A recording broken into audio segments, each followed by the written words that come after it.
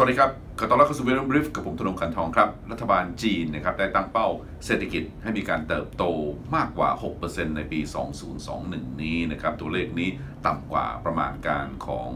องค์กรจากต่างประเทศนะครับที่ประมาณการก่อนหน้านี้ว่าน่าจะอยู่ที่ระดับ 7%หรือว่า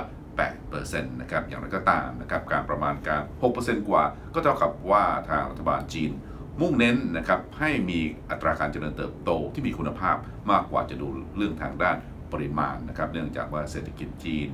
มีการเติบโตมาค่อนข้างที่จะยาวนานนะครับโดยเฉพาะยิ่งปีที่แล้วก็มีความท้าทายในเรื่องโควิดจีนเองมองว่าต้องการนะครับที่จะฟื้น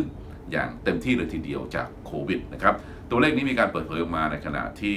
ทางจีนเองมีการประชุมที่สำคัญนะครับของสภานิติบัญญัติแห่งชาติ และสภา ที่ปรึกษานะครับ ซึ่งเป้าหมายทางด้านเศรษฐกิจของจีนเองนะครับต้องการที่จะเปิดกว้างสำหรับการลงทุนจากภาคการต่างประเทศต่อไปนะครับไม่ว่าจะเป็นเรื่อง service นะครับรวมทั้งเรื่องของทางด้านอุตสาหกรรมนะครับในขณะเดียวกันนะครับเป้าหมายใหญ่เป้าหมายหนึ่งก็คือ การฟื้นฟูหรือว่าการสร้างความต้องการภายในนะครับตลาดภายใน เพื่อที่จะ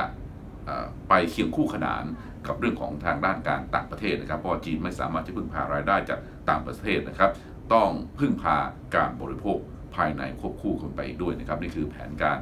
ของรัฐบาลจีนในการที่จะผลักดันให้จีนเป็นมหาอำนาจของโลกทางด้านเศรษฐกิจภายในปี 2028 ครับ ติดตามรายละเอียดได้จากทางเว็บไซต์ของทุนบัวหลวงและโปรดติดตามโซเชียลมีเดียทางบัวหลวง Fund วันจันทร์ Facebook Twitter Instagram รวมทั้ง b ี e ร์ b บายแอปพลิเคชันและอย่าลืมกด subscribe ที่ YouTube เพื่อรับข้อมูลอัปเดตข่าวสารล่าสุดครับ